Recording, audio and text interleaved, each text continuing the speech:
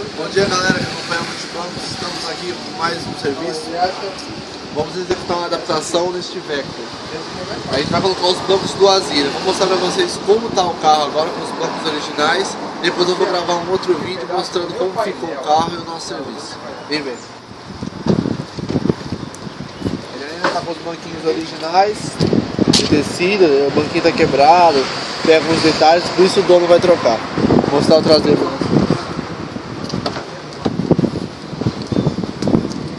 Traseiro tecido, o traseiro tá melhorzinho.